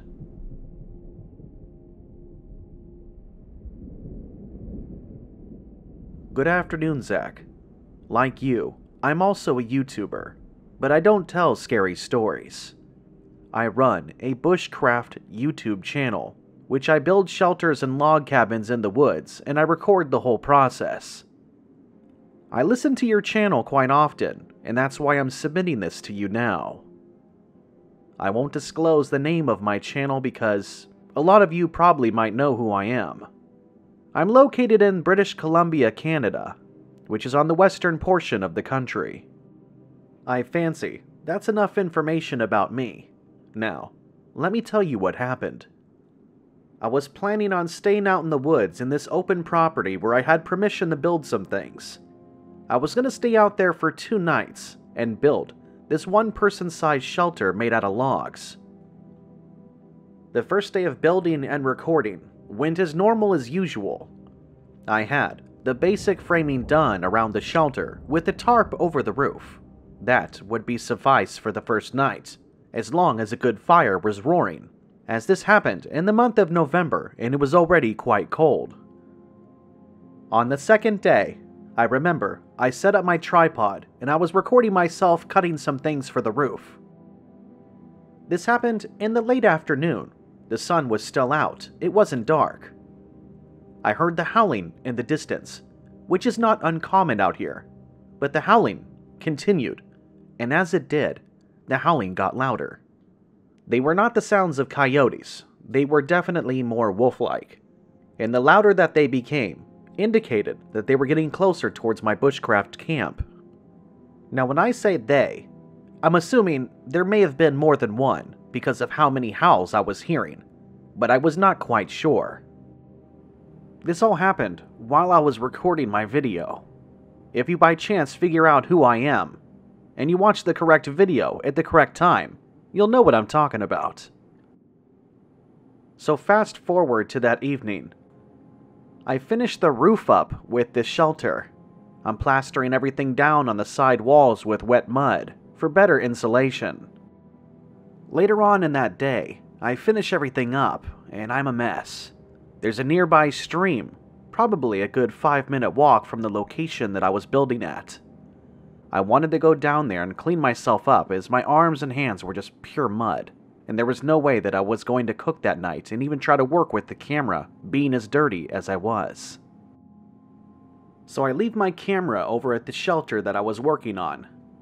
I walk over towards the creek, about five minutes later, like I mentioned. I kneel down and I start washing my hands and arms off in the creek, not trying to get too much more dirty than I already was. Once I was finished, I stepped away from the creek and was just about to start walking back in the direction of the shelter, is when I casually looked down and saw some prints in the mud near the creek line. Right off the bat, I knew that they were wolf prints, just judging by the shape of everything on it. I've been doing this for a long time, so I know a wolf's print when I see it. But these couple of prints that I found were still way off.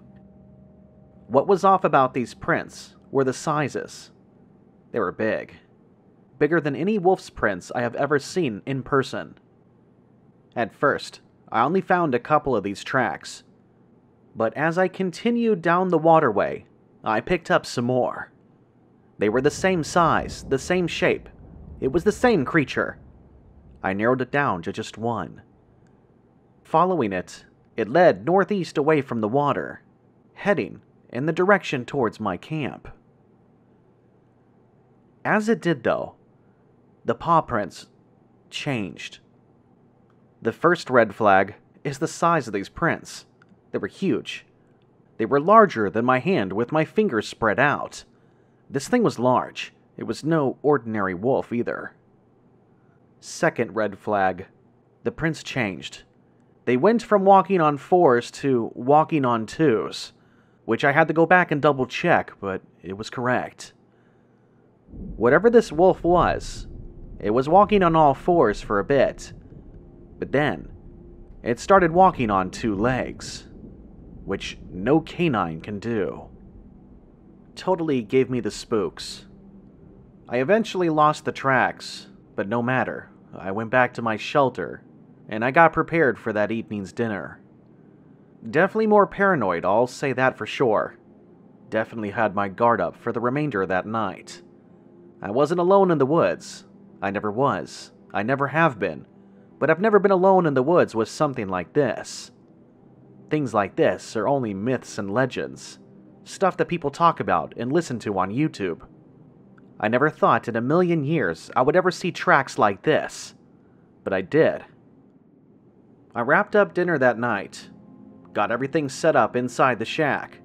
I chopped up a ton of firewood. I wanted to keep that fire blazing throughout the whole night, not just because it was November and it's cold at night, but because maybe it'll spook off whatever the hell was out there.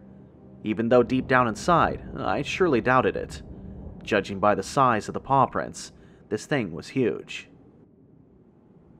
Those prints were way too close to the shelter I had made, too close for comfort. I didn't sleep much that night, but eventually I did doze off. When I awoke in the morning, I was freaked out. How did I let myself go to sleep like that?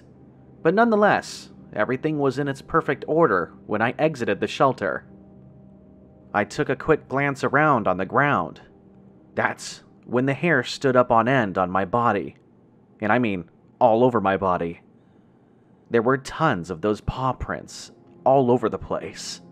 Some of the prints were hard to make out due to the hardness of the dirt, but there were still areas around there that were partially wet, and you could see those as clear as day. But I think the most frightening thing that I saw outside those prints was the slashing marks on the nearby tree, and they didn't come from any bear. If you read this story, I hope that you enjoyed it, and I hope that maybe I'll hear it on your YouTube channel one day. That way, people can understand nature better and respect it. And always keep your guard up when you're out there alone, and even if you're not alone, still, make sure you bring a weapon.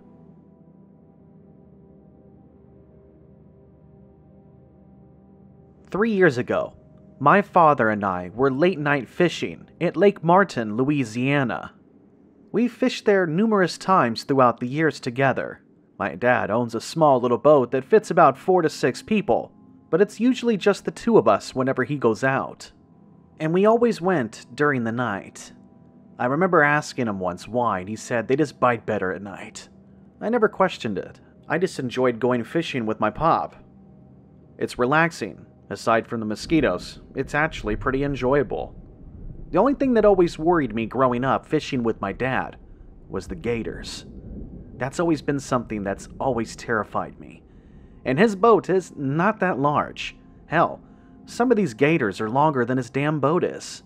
I've always wondered how he got the balls to buy something so small and not have a worry in the world. My dad always told me that the gators would never bother you if you don't mess with them. We're not primarily what it's after for food, but if you do piss one of them off, best be sure they will attack you. And it's not just the gators you gotta worry about out here, it's the snakes, the mosquitoes, like I mentioned before. Some mosquitoes carry diseases. A part of me enjoys the fishing with my dad, but at what risk? Sometimes I wish that we would just leave this state and head somewhere up north that's a little more dry. But my family's been here forever. I don't see that ever happening, at least not them. I plan on leaving Louisiana as soon as I finish college. I have one more year left and I'm out of here. I still haven't decided quite yet what direction I want to go to, but I also have to consider employment. But I have been saving my money for about a year now, so maybe, before the year's end, I'll know exactly what direction I would like to head. It's a big risk, I don't have family anywhere else, but I'm just over this place. They could have the boot. It was some time after 10 p.m. It was completely pitch black outside. We had our lights on the boat, and we had some flashlights as some extras. We had our fishing lines out, and we were just cruising along. We were trying to catch as many largemouth bass as we could. Maybe some white bass, bluegill, whatever we could. But bass is primarily what we go after. Some time goes by. We catch quite a few fish. My dad is never satisfied. He's one of those old marine guys that's very stubborn, and he has a certain number in mind before he wants to put the boat back to shore. Somewhere off on the lake. I won't be able to properly explain it through email, but it was on the western end. That I do remember. We heard this shuffling in the water near the edge, which is nothing out of the ordinary. There's birds out here, fish, gators, you name it. It's complete wildlife out here, and during the night, it's even more frightening. I grabbed the spotlight that was on the boat and shined it in the direction where we heard the shuffling of the water. All we saw was ripples in the water at first, but as I shined it just a little bit more upwards, that's when I caught a glimpse of something I've never seen before. Right then and there, right in the light, I saw. No, let me rephrase this. We saw this large black furry wolf, hunched over like it was trying to grab something out of the water. Something big. The sounds of the water splashing and the ripples it made was no regular fish. It may even been a gator. As soon as I shone the light on this furry beast, it looked straight up at us in surprise. The eyes reflected like someone taking a picture of a cat, but its eyes were a reddish color. I've never seen an animal outside of a rat or a bunny rabbit have red eyes, but these eyes were a dark reddish color. And just like that, this beast backed itself up on its four legs, away from the waterline where its attention once was. It bounced up on its back legs, turned around, and ran off into the brush. It freaking ran on its back legs. I'd never seen any type of wolf do that before. It's not even possible. I've seen videos of cute dogs hopping on their back legs trying to mimic their owners. But this is a wild beast. I am not even sure if what we had seen was a wolf at all at this point. What I saw terrified me. My dad was totally freaked out too. Not as much as I was. My dad's a retired Marine. It takes a lot to spook someone like that. We sat there in the water for countless minutes with the light shown in that direction, wondering if that thing was going to come back around or not. It never did. We just sat there in that small boat on the water just floating about for about five, maybe ten minutes. Eventually, we set our way back towards his truck and got the boat loaded and got the hell out of there with our catches. My dad doesn't like to talk about it, and we've never fished there since. We still go out fishing from time to time together, but we no longer go to that lake. Now, I've heard lots of rumors about a dogman and a rougarou. I don't know what the difference is between them, if there is any, but I know the rougarou is a big myth out here in Louisiana. Maybe that's what it was. Or maybe it was a dogman. I don't know, and I don't care to find out. I hope that you enjoyed this short tale of my encounter, Zak, if you plan on narrating it, just let everybody know. Stay out of the swamps. If it's not a dogman rougarou, it's a gator. It's just not worth it. I hope you have a good night, and thank you for reading my story.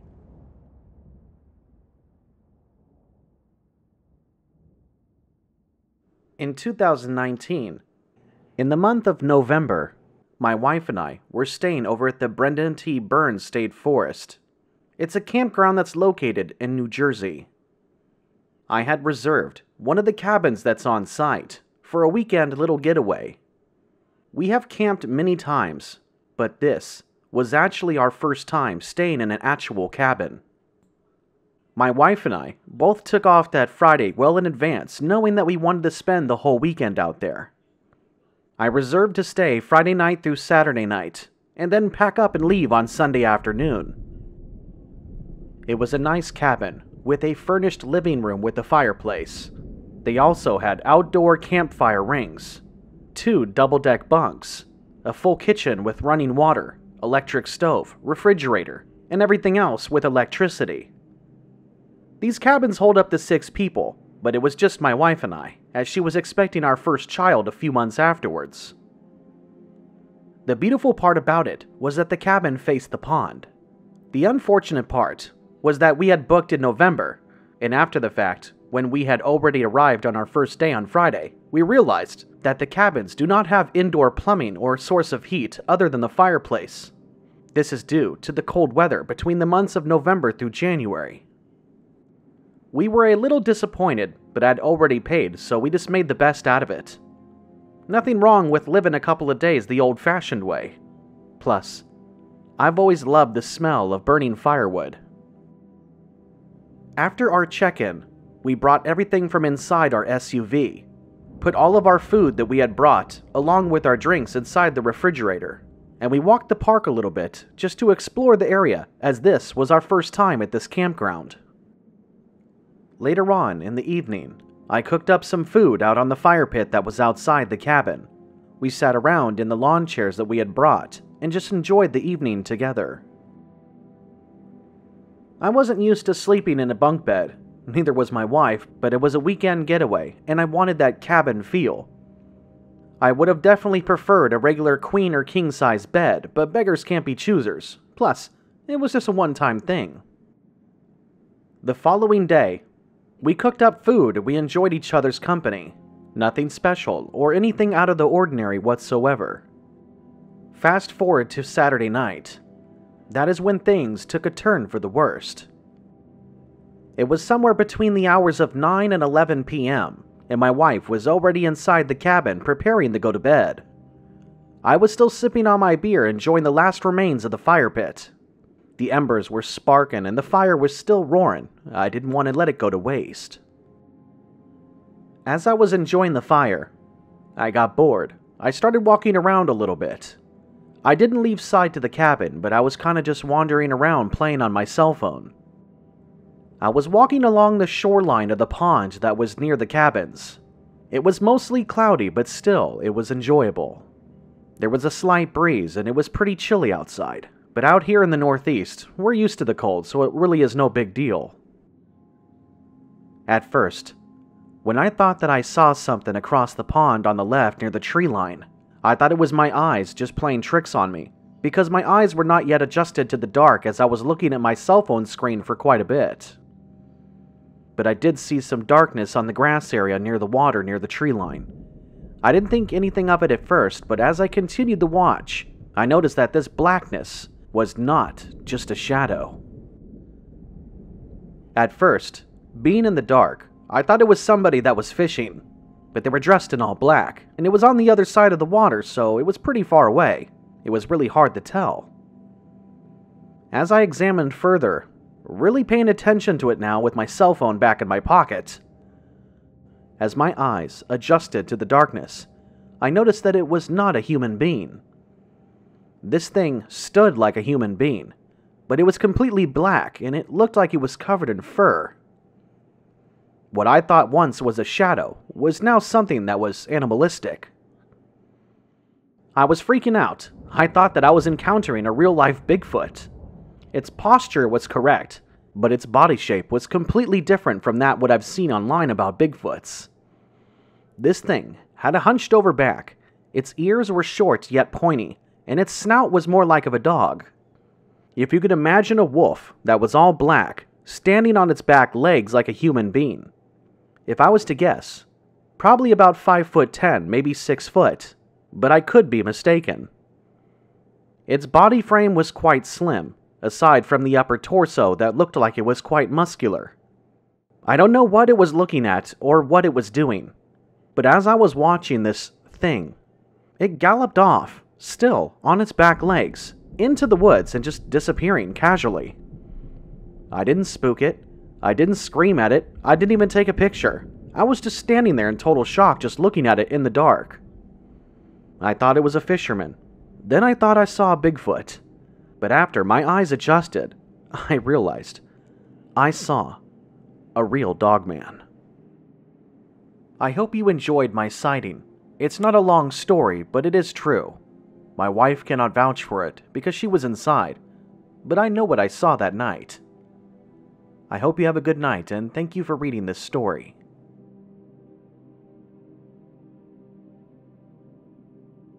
Back when I was in 11th grade, I was upstairs doing my homework inside my bedroom late one night. If my memory serves me right, it was a Thursday night leading into Friday's assignment that is due.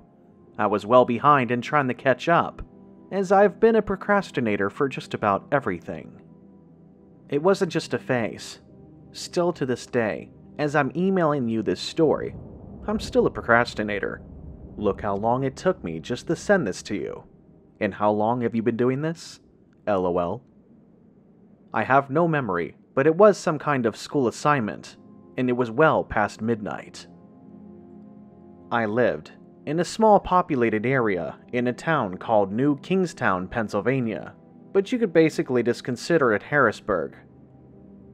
Late at night, I was doing my homework assignments my bedroom window was open, as I'm on the second floor, and it's always been a lot hotter upstairs compared to being downstairs. But there was only the master bedroom, which was downstairs, which were my parents. If I was to guess, it was between the hours of 12 a.m. and 2 a.m. I was gonna pull an all nighter if necessary to finish that paper, whatever the hell it was at the time. Outside of my window being open, the lights on in my room, I was playing some light melody music in the background. I believe it was Elton John or something from the 70s. This story goes back some time.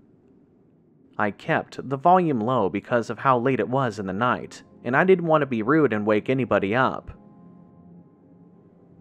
While I was doing my homework, I started hearing these weird noises outside. Now, I must mention that my bedroom faces the backyard, our backyard is fairly large. In fact, it's so big, it doesn't even have a fence. I have no idea where our property starts and where the others begin. But surrounding our house in the back portion, it's surrounded by woods. There's other homes in the area, but still cluttered by forest. The small town is very boring. Outside of auto shops and a bunch of warehouse buildings, there's nothing else out here but flat land and woods. So these noises at first were just like anything else you would hear outside crickets, toads, maybe a bird from time to time. But the sounds were different. They made the sounds of crunchy noises, like something heavy was walking around out back. For a while, I was just ignoring it, thinking it was your average everyday raccoon or coyote. But sometime that night, is when I heard the howl that changed my mind. It wasn't a howl of coyotes running around trying to find some scrap to eat for the night. It wasn't the sound of a big bad wolf. I've heard them before too. Not where I live, but, you know, from movies. This howl sounded very guttural and deep. The bass in its voice was something I can't even try to replicate. It was so loud.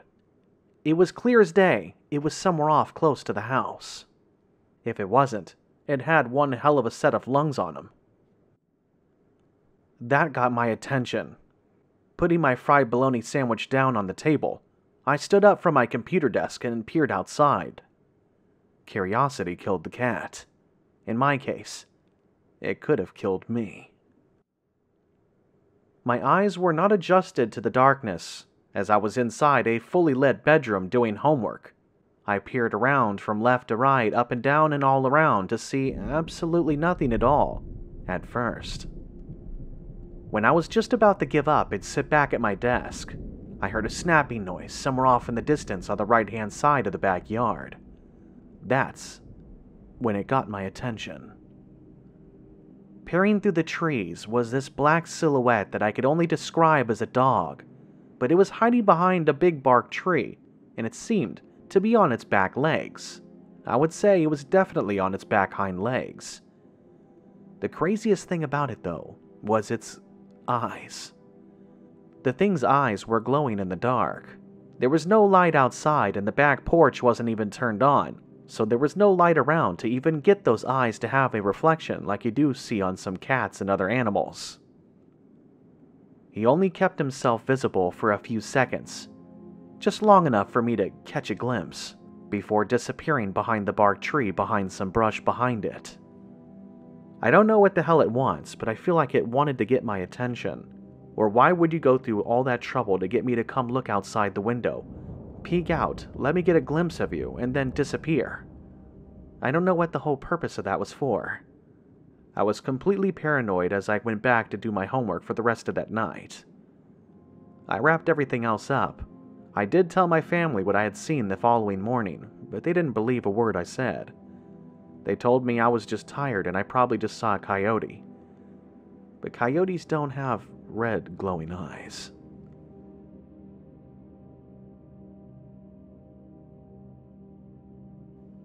Back when I was a kid in 2015. I went camping in my grandparents' RV with them in the late spring, right before summer was about to begin. I was basically raised by my grandparents, as my father was never in the picture and my mom had recently passed away. My grandparents were the prime example of a great marriage, an everlasting marriage, as this camping trick in particular was their 53rd anniversary. My grandmother was actually the one that enjoyed the camping the most. My grandfather always spent most of his time in the garage. Even at his old age, he was still working on something. But he was never the type of person that liked to leave home. He was a homebody, and that's just the way he's always been. My grandparents owned a decent sized RV. It had a bed in the back and also a couch, and pretty much for the most part a kitchen. I was the oldest out of 11 different grandchildren, but I was always the one that liked to spend time with them the most. A lot of it had to do with not having my parents around as much as they should have been. But they were both like second parents to me, and I loved them dearly. For their anniversary, my grandmother wanted to go camping in their RV. Not a very typical request, most people would like to go to a beach resort, get a regular hotel in general somewhere in a big city, maybe like New York or Miami. But not my grandma. She liked the outdoors. And my grandfather wasn't about to complain because one, they already owned the RV, and two, it was only about an hour away from their house. So when they initially told me about the weekend getaway, I was happy for them but they both insisted that I went along with them. They trusted me to be alone at the house. I'm not terribly sure why they wanted me to come with them. Maybe just for company. I mean, I was really close with my grandma after all. We would play this dice game called 10,000, which is something that my uncle taught my grandmother when he was locked up in jail years back.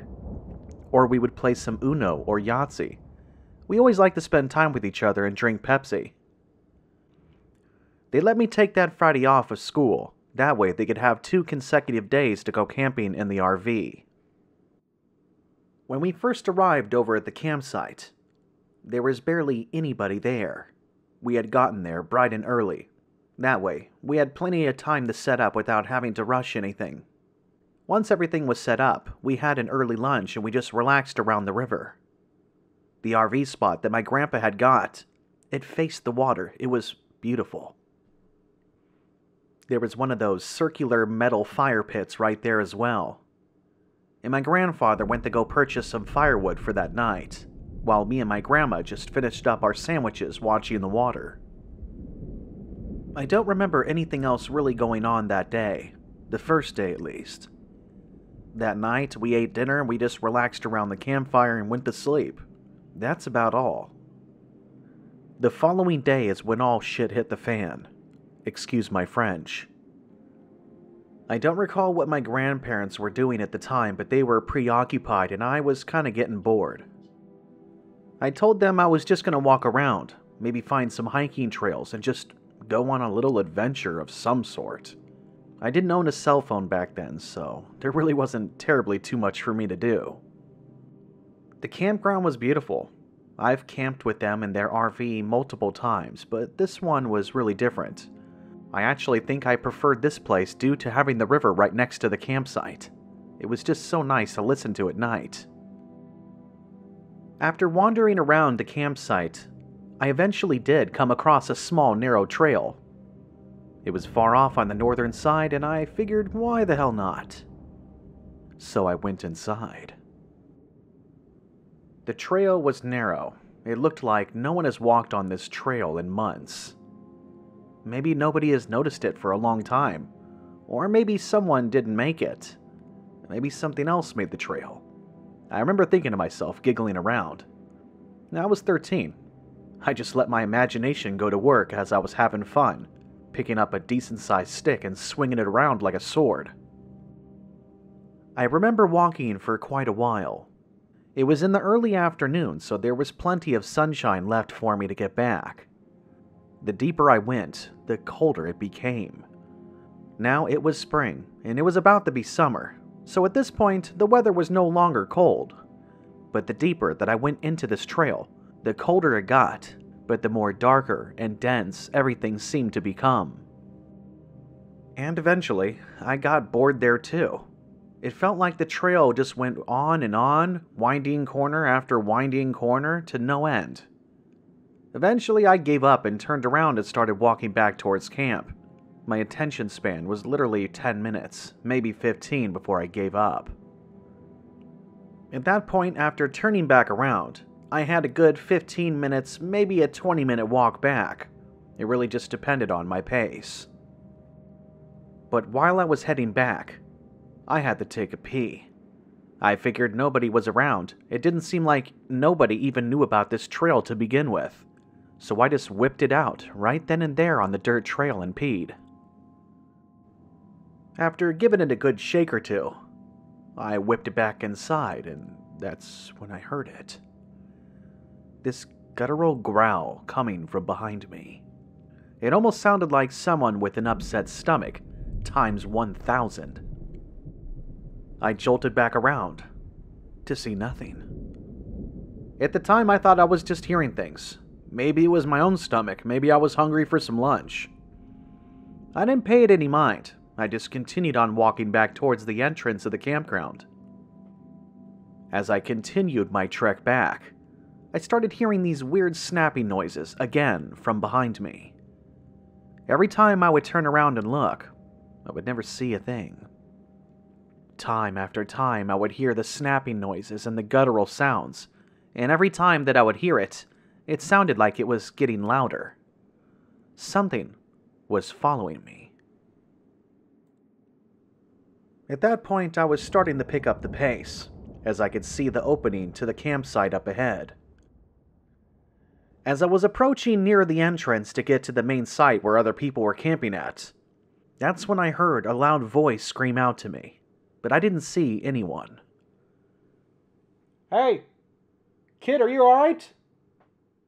Someone from the campsite had noticed that I was on the trail. I replied back in response. Yeah, I'm on the trail heading back. It's kind of weird back here. As soon as I finished that sentence, I heard this crack sound that sounded like it was right behind me. I spun around. I didn't see anything. Then, something shifted in the bushes to my left. I turned my head in a swift motion to see this giant dog creature running off. I literally saw it for like one second.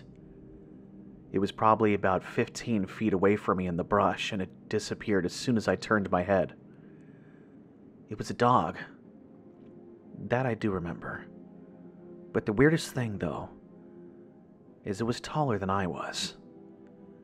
I've never seen any dog bigger than me.